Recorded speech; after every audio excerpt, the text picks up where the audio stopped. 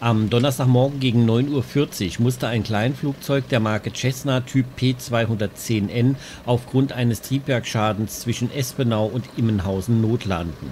Der 49-jährige Pilot stellte den Fehler fest und leitete eine sogenannte Sicherheitsaußenlandung ein. Auch die ermittelnden Beamten der Luftsicherheit konnten keine andere Ursache erkennen.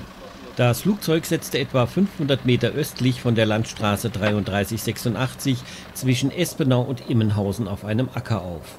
Der Pilot wurde leicht verletzt und nach einer Erstversorgung an der Unfallstelle zur weiteren Untersuchung in ein Krankenhaus eingeliefert.